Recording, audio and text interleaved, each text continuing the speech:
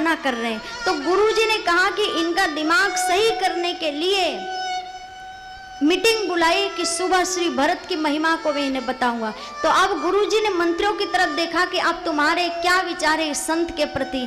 तो सुनते ही सारे मंत्री जो है, उनका मस्तक नीचा हो गया। अभी सारे इशारे में गुरुजी भी इनके मन की बात जानते और ये इनके मन की बात जानते। तो मंत्रियों ने मन ही मन में गलती स्वीकार कर ली कि गुरुजी हमें क्षमा करना, इस संत को हम समझ नहीं पाए हैं। भरत जी की महिमा का पार नहीं पा सकते। हमें क्षमा करिए। अब श्री गुरुजी ने भरत लाल जी से कहा कि, भरत, आखिर में तुम चाहते क्या हो? अब तुम बताओ कि तुम्हारी इच्छा के अनुसार क्या करें?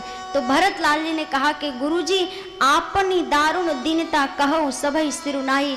मैं अपने हृदय की बात कहता हूँ गुरुजी, कि मेरे हृदय में जो जलन हुई हो रही है, ये जलन तभी शांत होगी जब श्री राम जी के चरणों में मैं पहुंचूँगा श्री राम जी के चरणों के मैं दर्शन करूँगा, तभी मेरा हृदय जो है, उसकी जलन शांत होगी, मेरा मन शांत होगा। मैं जाऊँगा, मेरे भैया को मना करके लेकर के आऊँगा, वो नहीं भी आएँगे तो भी चरण पकड़ करके लेकर के आऊँगा, और ज़बरदस्ती उन्हें सिंहासन पर बैठाऊँगा, तभी मेरे हृदय की जलन शांत होगी। तो मंत्रियों ने कहा कि हम भी चलेंगे, गुरु जी ने कहा, हम भी चलेंगे, प्रजा कह रही हम भी चलेंगे, सारे जितने भी मंत्री संतरी उन्होंने कहा, हम भी चलेंगे।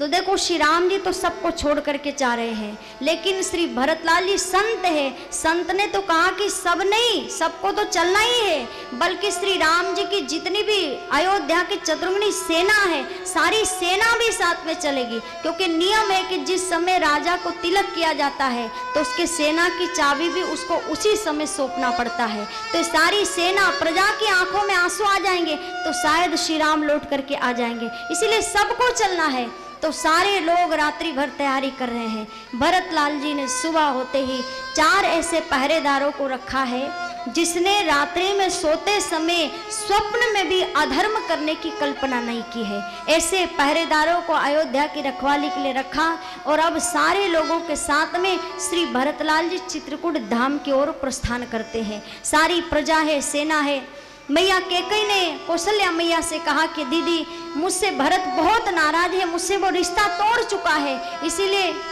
वो मुझे नहीं ले जाएगा। तो आप कहिए कि वो मुझे साथ में लेकर के चले।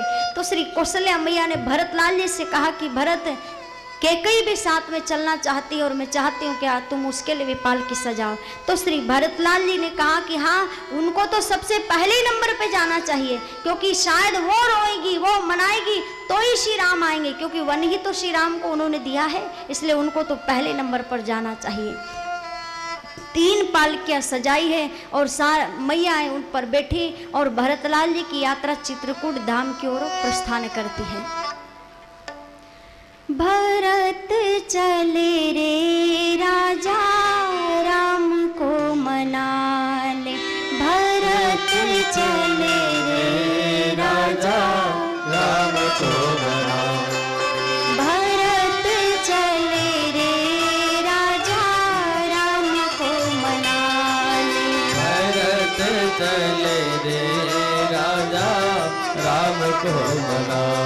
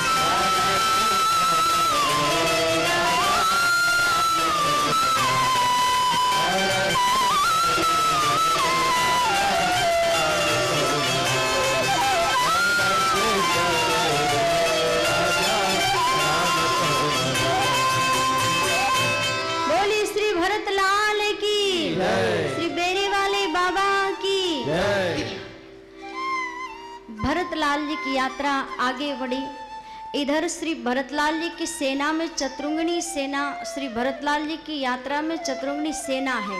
तो सेना में बहुत सारे घोड़े भी हैं। तो घोड़ों के टापों की आवाज़ से जितने भी जंगल के पशु पक्षी हैं, वो सब अस्त व्यस्त तो घबरा गए, भागने लगे। तो जंगल में श्री निषाद महाराज जी रहते हैं, उनके पास में जब सूचना गई तो निषाद महाराज जी ने जान लिया कि श्री भरतलाल जी का मन निश्चित रूप से ठीक नहीं है। अगर वो श्री राम को मनाने जाते तो अकेले जाते। परंतु चतुर्णी सेना को लेकर के जा रहे हैं, इसका मतलब वो मनाने नहीं जा रहे हैं, युद्ध करने के लिए जा रहे हैं। तो सारे जितने भी कोल भिलो की छोटी सी टोली है, निषाद महाराज जी ने इकट्ठी की और निषाद महाराज जी ने सारे कोल भिलो से कहा कि भैया लोगों, आज श्री राम काज करने का अवसर आ गया है। देखो, उधर से चतुर्ंगनी सेना लेकर के श्री भरत जी आए हैं। हम जानते कि भरत की सेना का सामना हम नहीं कर सकते। फिर भी जब तक शरीर में प्राण है, तब तक हर हालत में हम भरत की सेना को गंगा पार नहीं होने देंगे। इसलिए भले ही छोटी टोलियाँ हैं, लेकिन आत्मविश्वास बड़ा रखो। और सारे लोगों को एक साथ हमारे साथ में चलना है और तीक्ष्ण बाणों से श्री भरतलाल जी पर प्रहार करना है। अब निषाद महाराज जी तो मीटिंग कर रहे हैं और कहा कि अगर अच्छे मन से आते तो भरतलाल जी अकेले जाते, पर चतुर्मणी सेना को लेकर के जा रहे, इसलिए पक्का युद्ध करने के लिए ही जा रहे हैं। तो यही सोच करके निषाद महाराज जी ने भीलों की टोलियाँ तैयार की है और उन्हें कहा कि देखो, अगर राम काज में मर गए ना तो भी फ़ायदा है, और ज़िंदा रहे तो भी फ़ायदा है। बोले, अगर मर जाएँगे श्री राम काज में तो देवता लोग थाली लेकर के द्वार पर आएँगे आगवानी करने के लिए कि देखो, राम काज में मरे हैं, इनका स्वागत करो। और अगर जीवित रह गए तो श्री राम जी का आशीर्वाद मिलेगा कि मेरे काज में सब लोग मरे हैं। इसलिए दोनों ही हाथ में लड्डू है, इसलिए निर्भय होकर के मेरे साथ में चलो। उसी समय एक छीक आ गई इस एक व्यक्ति को। तो निषाद महाराज जी ने पूछा कि छीक का क्या अर्थ है?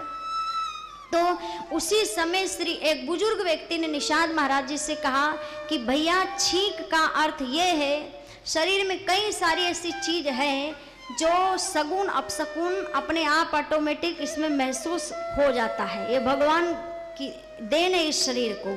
तो छींक जब अगर आ जाए, कहीं जा रहे हो तो कितना भी ज़रूरी है, पाँच मिनट रुक जाओ, पानी पी लो और उसके बाद में जाओ। श्री रामचरित मानस बताता है कि छीक अगर आए तो रुको। निषाद महाराज से बुज़ुर्ग व्यक्ति ने कहा कि आप भरत पर आक्रमण करने के लिए तो तैयार हो गए हो, पर भरत की मनोवृत्ति का परीक्षण अगर नहीं किया है और उससे पहले उस पर बाण चला दिया तो श्री राम के क्रोध का भाजन बनना पड़ेगा। हो सकता है श्री भरतलाल जी चतुर्मुनि सेना लेकर के मनाने जा रहे हो। इसीलिए भरत पर बिना सोचे समय आक्रमण करना ठीक बात नहीं है। निषाद महाराज जी ने कहा, ठीक है तीन टोकनियों में आहार तैयार किया है। भोजन से मनुष्य की प्रवृत्ति की पहचान होती है। जैसा भोजन करेगा, वैसा ही उसका मन बनता है और वैसे उसके विचार बनते हैं। निषाद महाराज जी ने तीन टोकनियों में भोजन करा है। एक में सतोगुण, एक में रजोगुण, एक में तमोगुण। और मन में सोचा कि अगर सतोगुण वाली टोकनी जिसमें फल है वो स्वीकार करेंगे तो मैं समझ जाऊँगा कि भरतलाल जी मनाने जा रहे हैं।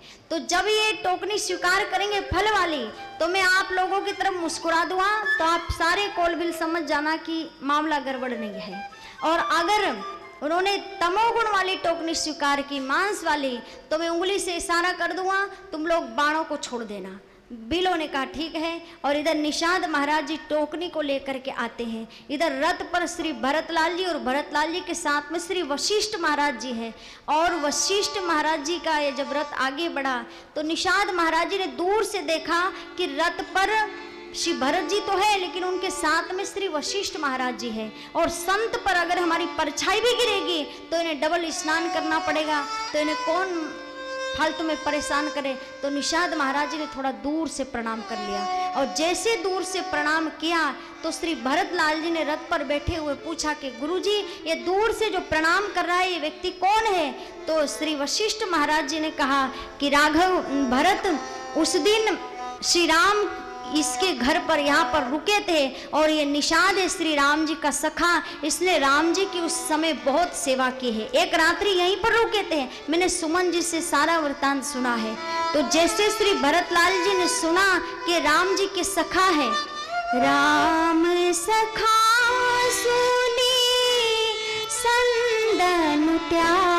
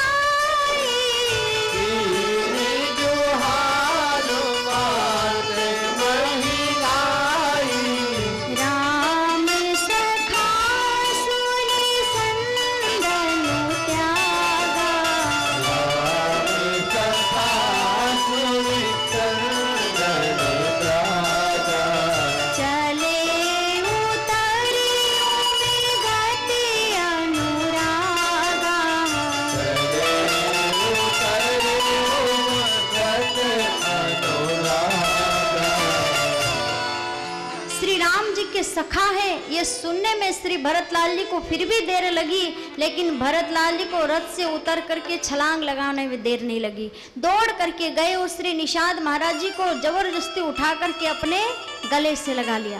अब इधर रथ में बैठे बैठे गुरु जी कह रहे हैं कि देखो, दुनिया में गुरु आगे रहते, चेला पीछे रहते हैं, लेकिन आज उल्टा हो गया, चेला आगे निकल गया और गुरु पीछे रह गया है। श्री वशिष्ठ महाराज जी सोच रहे हैं कि मैं तो हमेशा यह मानता था कि ये निषाद है, भील जाति का है, अपवित्र है, इसलिए मैं दूर रहूँ। लेकिन श्री भरत ने बता दिया कि गुरुजी, जिस जीवात्मा को साक्षात श्री राम जी ने गले से लगा लिया है, वो जीवात्मा अपवित्र कैसे हो सकता है? वो तो परम पावन पवित्र हो गया है। तो मेरा चेला ये बात पहचान गया और मैं अभी इसी अकड़ में रह गया कि वो भील है, उसको मैं गले नहीं लगा सकता। तो चेले ने जो बात जानना थी मुझे, वो ये जान गया। इसलिए भरत, मैं आशीर्वाद देता हूँ कि तू सदैव आगे ही रहना। सदैव विजयी रहना। भरतलाल जी ने निषाद महाराज जी को गले से लगाया, लेकिन निषाद महाराज जी मन में सोच रहे कि भले आप मुझे गले लगाओ, मैं आप पर विश्वास करने वाला नहीं हूँ। श्री भरतलाल जी ने इशारा किया निषाद महाराज जी ने कि तीन टोकनियाँ पड़ी है, इनमें से आप स्वीकार करो। तो श्री भरतलाल जी बुद्धिमान है, इन्होंने तुरंत का शत्रुघ्न ये मुझे भोजन नहीं दिया जा रहा है। ये मेरी मति का परीक्षण किया जा रहा है। इसीलिए तुम ये फल वाली टोकनी स्वीकार करो। तो उस फल वाली टोकनी को भरत लाल जी ने स्वीकार किया। और शत्रुघ्न महाराज जी ने स्वीकार किया। निषाद महाराज जी निश्चिंत हो गए। कि इनका भाव सद्भाव है, इसलिए प्रसन्न होकर के निषाद महाराज जी चरणों में गिरने लगे। भरत लाल जी ने उठा के गले से लगाया और कहा, भैया, सब बात तुम तो छोड़ो। तुम वो स्थान बताओ, जिस स्थान पर मेरे भैया ने उस दिन विश्राम किया था। श्री निषाद महाराज जी लेकर के गए। अभी भी कुशा की चटाई निषाद महाराज जी ने हटाई नहीं थी। श्री भरतलाल जी दौड़ करके आए, उस चटाई पर लोट लगाने लगे, उस पेड़ को गले से लगा लिया और नीचे सीता जी के चरणों के पायल के घुंघरू बिखर गए थे। उन घुंघरुओं को उठा करके भरत लाल जी ने मस्तक पर रख लिए हैं, नाचने लगते हैं और रोते भी है कि मेरी माँ का क्या बिगाड़ा जो भैया को इस कुशा की चटाई पर सोने के लिए बाध्य कर दिया है। सारे लोग माँ के कई कोई गालियाँ बकते हैं। और इधर श्री भरतलाल जी रात्रि भर प्रतीक्षा करते करते बीत गई। सुबह हुई, गंगा के किनारे अनंत नाव खड़ी है। एक साथ श्री निषाद महाराज जी ने सब की व्यवस्था कर दी। सारे लोगों को नाव में बैठा करके एक साथ पार कर दिया। और अब श्री भरतलाल जी सबसे पीछे पार हुए।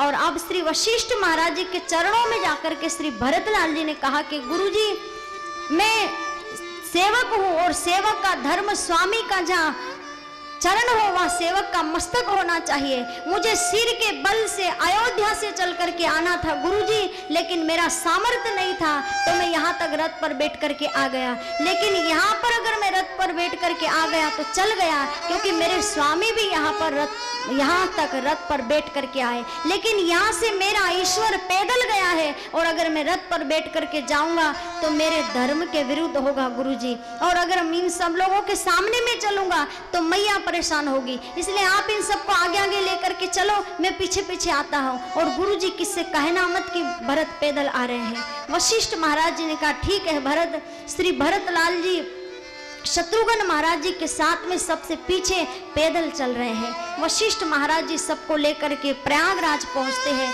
प्रयागराज में सबने स्नान किया, महर्षि भरद्वाज जी के आश्रम पहुँचे।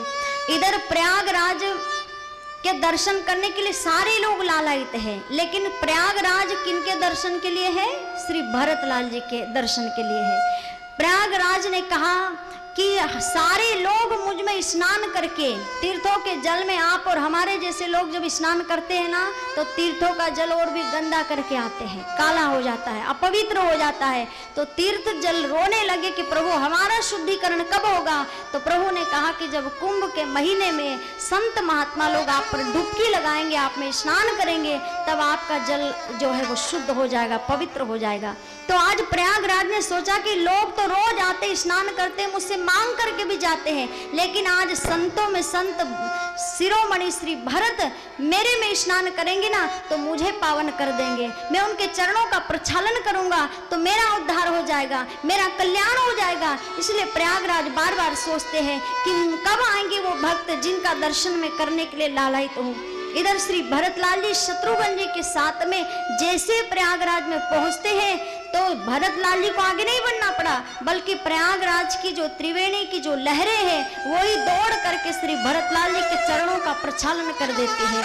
मानो संत हम आपके चरणों का प्रक्षालन करते हैं, आपने हमको दर्शन दे करके कृतार्थ कर दिया।